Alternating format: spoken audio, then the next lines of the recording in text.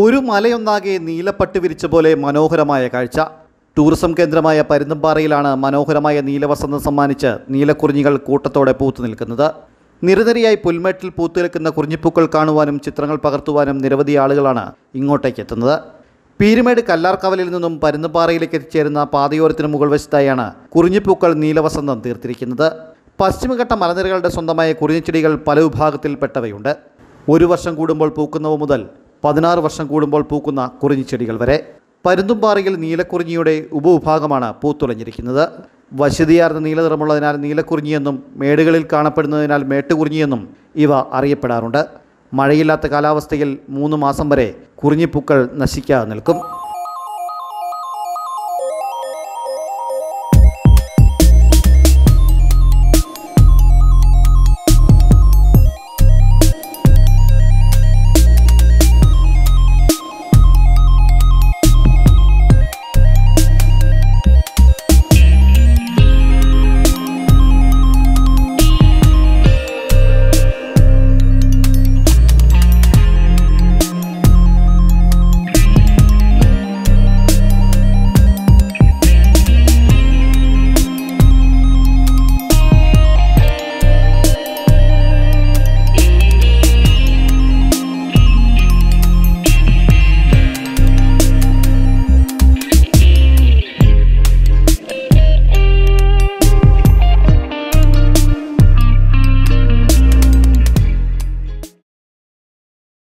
ഓണം വരുന്നേ.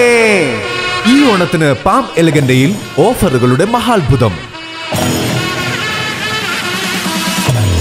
പാം എലഗിന്റെ പാലയിൽ ഓണം ഓഫേഴ്സ് സ്റ്റാർട്ട് ചെയ്തിട്ടുണ്ട്.